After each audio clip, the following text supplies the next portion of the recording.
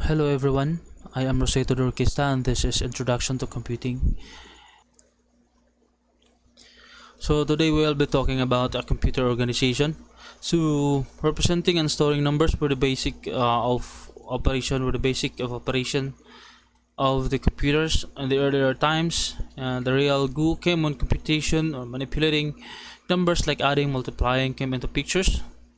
Um, these operations are handled by the computer's arithmetic logic unit or the ALU. So if you can remember uh, the first computer, uh, the, the main purpose of the main computer, uh, the uh,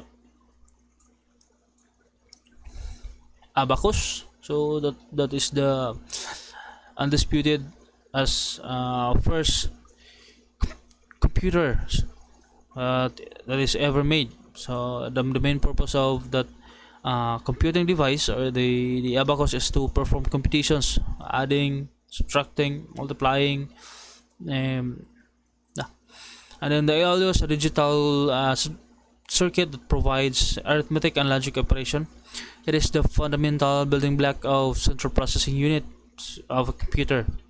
So most of the operations are performed by one or more ALUs which load data from input register and then registers are the small amount of storage available in the CPU if you can still remember we talk about uh, in the other videos that I uploaded in this channel. We talk about or I talk about the registers. Uh, it is uh, the the level 1 the level 1 cache memory. It is being uh, integrated in the central processing unit. So it is not just in a separate chip but it is within the central processing unit chip so this register registers can be accessed very fast. And uh, the control unit tells ALU what uh, operation to perform on the available data. And after calculation manipulation the ALU stores the output in an output register.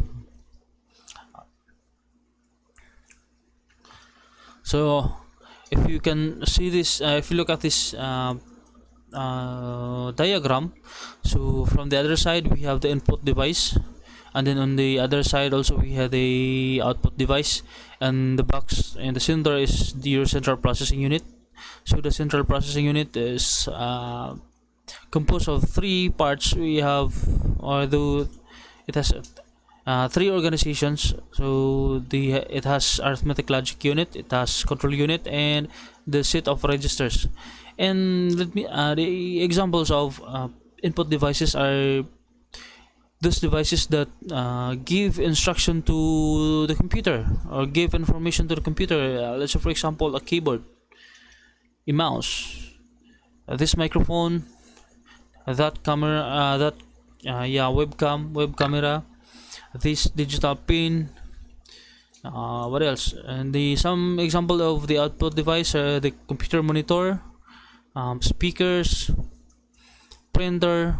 So those are examples of um, output devices. So before you can uh, observe or uh, see or before the computer displays in your computer monitor the output of the process uh, first the computer needs an input. So those input will be processed inside your central processing unit. Uh, it will be uh, it will use control unit the set of registers the arithmetic logic unit to perform simple to complex operation. Now say for example 1 plus 1 2 plus and and more on complex operations like uh, register on uh, a system uh, manipulating an inventory system so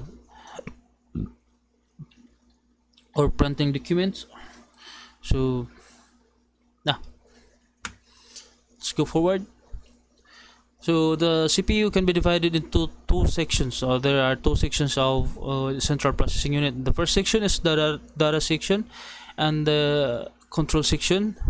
Then the data section is also known as data path. So if we have control section or the data section we have uh, the data section is also called data path. And then with this uh, section of the computer we have this thing called bus. So, so in the in the early computers bus were parallel electrical wires with multiple hardware connections. So if you can still picture out or remember the the, the first computer created by uh, Charles Babbage. So it has many electrical wires connected to one physical uh, hardware to another physical hardware. So so uh, therefore a bus is a communication system that transfers data between components inside a computer. So or between computers. Like UTP cables uh, cat6 cat5 so it includes hardware components like wires optical fibers etc and software. So we could also create a software that will be sending or receive transmission data or information from other computer. So let's for example uh, Yahoo Messenger a local messenger so net message. Uh, this register uh, the registers ALU and the interconnecting bus are collectively referred as data path so the registers the ALU and the interconnecting bus are collectively referred as data path because those are the organizations that holds the, the the data from input to process to output. Okay and this bus has at least four types. So the first one is the address bus. So the purpose of this address bus is to hold uh, the it serves as the header. It, it, it it holds the information or the address of the resources that is needed for the operation in the ALU or the arithmetic logic unit. And then the data bus or the second uh, type of bus is the, the one that holds the actual data from address bus address bus and data bus goes hand in hand. Because while the address bus um, keep track on the, the actual location or the address of those data data bus is the one that uh, holds the information or the actual data that is needed for the operation. And we have control bus. Uh, if the bus is carrying control signals. So control signals like flag mm, error flag or if there's no um, data found in this specific address or in this specific location. So the control bus will will uh, execute or it will throw out an exception error. So this uh, the purpose of control bus. And then we have the power bus. So if this is, it is carrying clock pulse power signals it is known as power bus and so on. So you might think of um, the, an example of power bus is that uh, like for example we could light a, a bulb we could light a fluorescent we could light a lighting from of a certain room using uh, just an enter key from the keyboard. So those instructions should be instructed by the central processing unit but to be able to do that you have to link your computer to an, uh, an outside device like uh, a board that will control the the switch on and off of a or fluorescent. Then the bus can be dedicated. It can be used for a single purpose or it can be multiplex. So it can be used for multiple purpose when we uh, when we would have different kinds of buses. So different types of bus organizations will take place. So one of this uh, type of organ uh, bus organization is the program uh, counter. So program counter. Is a CPU registered in the computer processor which has the address of the next instruction. So you can uh, you can imagine this program counter as a stack so it has a, uh, a stack yeah. If you know what a stack is uh, it the program counter since the program counter holds the the number of instructions that needed to be executed the number of instructions so if you have instruction 1 2 3 4 5 6 7 8 9 10 and so on and so forth. So along this number or those uh, counts the the one responsible that that is uh, in charge for counting the the first the next the next the next and to the last uh, instruction is the program counter and the second one is instruction register. So if we have an organization that holds the actual number of uh, operations uh, to be performed then those instructions are not stored in program counter but it is being st- stored in instruction register. So in computing an instruction register or IR is a part of the CPU control unit that holds the, uh, the instruction currently being executed or decoded so an instruction register is a part of the CPU control unit that holds instruction currently being executed or decoded. Instruction register specifically holds the instruction and provides it to the instruction decoder circuit. So if we have a counter, then we have an, a register that holds the actual instruction for the process. Um, it's not enough to just have a counter for the processes on uh, inside the central processing unit or just the instruction register where in the actual instruction or for the performance is stored. We need a memory address register. So the memory address, address register the main purpose of this register is to keep track of the uh, location of the actual data or information that is needed for the operation in the ALU so the memory register is um, much like the the header if you can still remember uh, the uh, when I when we talk about the memory, the types of memory, the memory location, where I draw a which I draw a uh, an Excel like table. It has columns and rows, and above those columns are the alphabet letters, and on the side is the the number uh, from one up to whatever the number is, uh, the last number.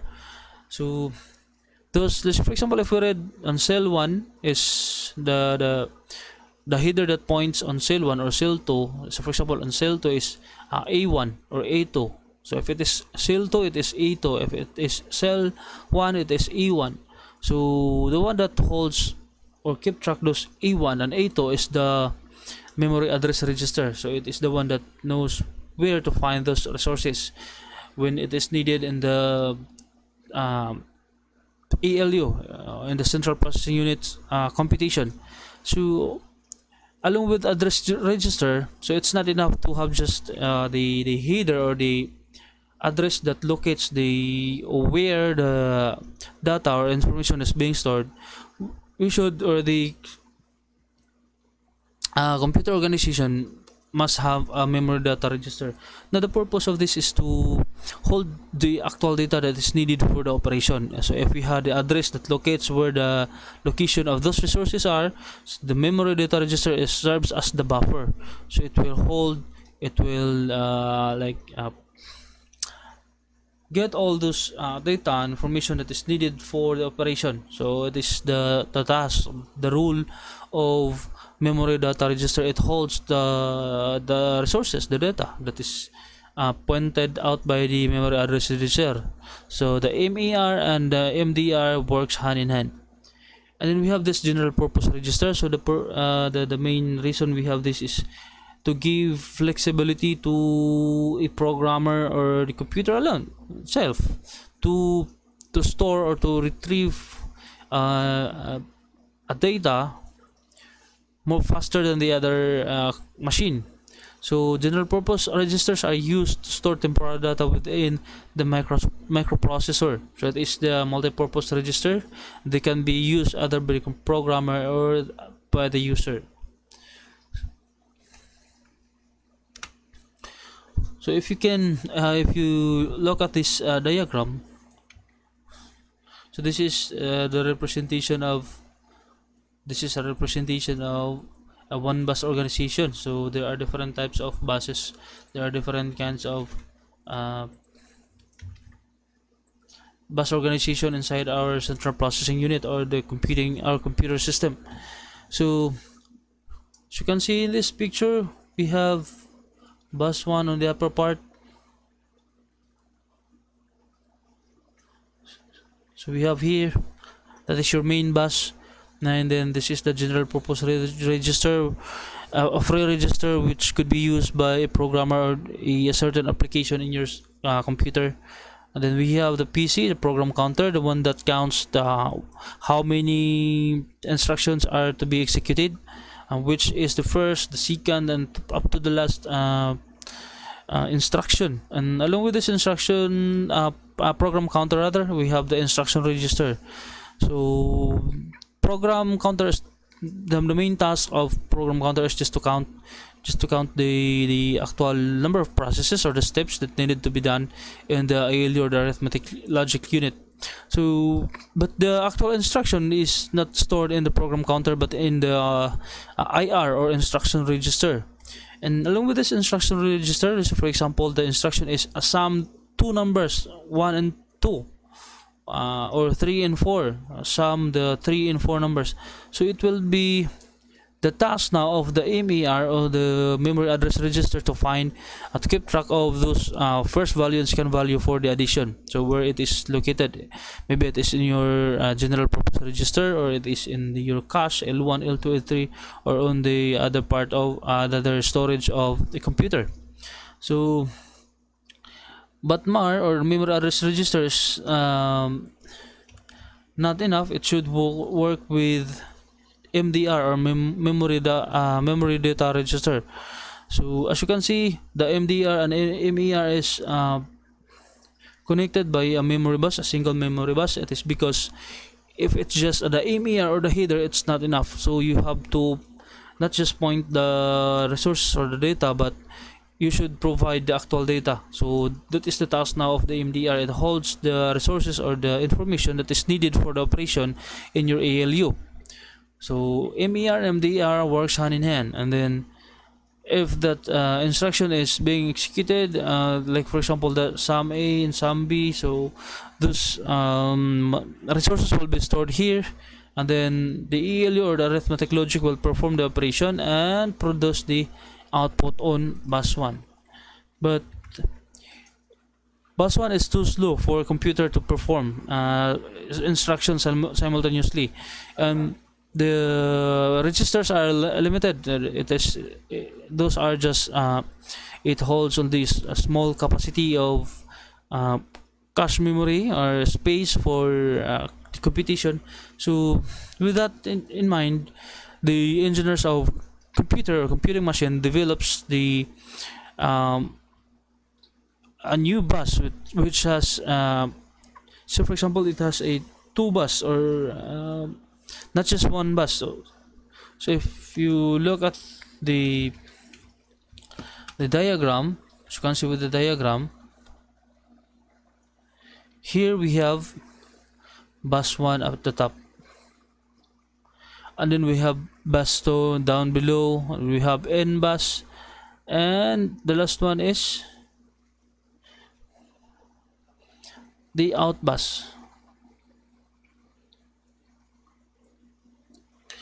So in this case uh, program counter counts the or manage the execution the step-by-step execution of a an instruction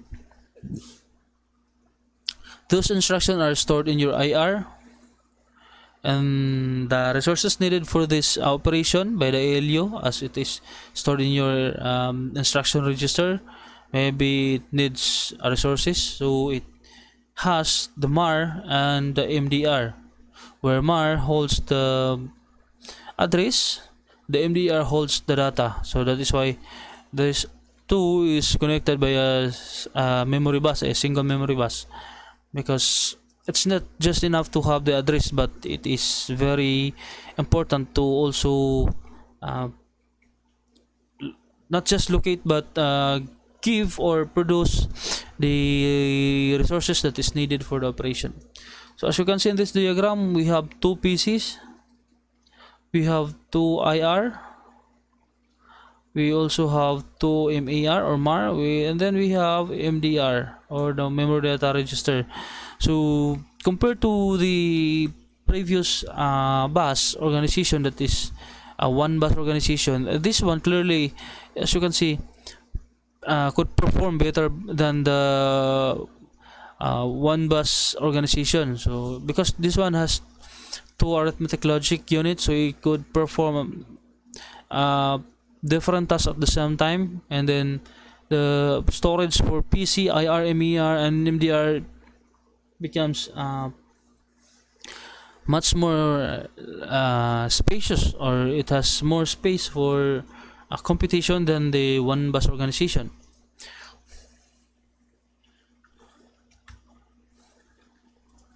So another example is this one, the bus one, and then it has uh, so on the upper part uh, on the upper part we have bus 1 and on the lower part we have output bus on 1 and output bus 2 so still it has the general purpose register it has the program counter the instruction register the memory address register and the memory data register. And still the MER and MDR is connected by a single memory bus. So this is your ALU here. So we, could uh, put this imagination as an example like you have two monitor and one computer. So it could be that uh, the output of uh, bus one or computer um, computer monitor one is the same with the output in your computer monitor two or shall we say you have a laptop so and it is connected in a projector so whatever the content that is being shown on your laptop monitor screen will be also uh, reflected on the on the project projector. So that is uh, a simple uh, representation example of uh, computer organization of an example of um, bus organization a two bus organization. And then with this uh, upgrade or uh, latest generation of having not just one uh, bus organization but as much as you you, you want hmm, the advantages of the this is uh, could be increased size in size of register. It could uh, re reduce the number of cycles for execution because it will um, if you have only one bus it will perform the, the same action repeatedly in one bus. But if you have multiple bus organization it might uh, simul- simultaneously work on the the execution of uh, instruction. So that's far more better or faster. And if you think about it it is faster than the one bus organization. And it has a lot more storage because uh, as you can see in this example it has two pc it has two ir mer mdr so probably another example for this is having the high speeds computer which has uh, not just one central processing unit. So if you can uh, remember the old uh, the old times the computer could only perform one action at a time. Let's for example you are uh, using lotus you encoded text and you cannot open another application like listening to music uh, opening your browser browse to youtube and uh, that's not uh, the computer in the old times could not able to do that. Maybe because of this uh, single bus organization. But in in the later version so it's not just in about the the increasing number of registers it also reduce the number of cycle for execution. So much later time uh, lesser time to perform instructions it becomes more uh, powerful computing device and also it increases the speed of execution or we can say faster than faster execution than the other computer. So that is the, the advantage of having uh, multiple bus organization. And that's it for today for the computer organization. So i hope you have learned something from me. I, if you have uh, questions and clarifications please comment down below. You can ask me questions or you can text me using my phone number you can uh, send a message to my um, gmail account. And then please don't forget to like this video uh, click on the subscribe button and uh, hit the notification bell so that you will be updated on the next discussion which uh, regards to introduction to computing or other uh, related uh, subjects within the information communications technology. And um, that's all for today. Thank you for listening. And mabuhay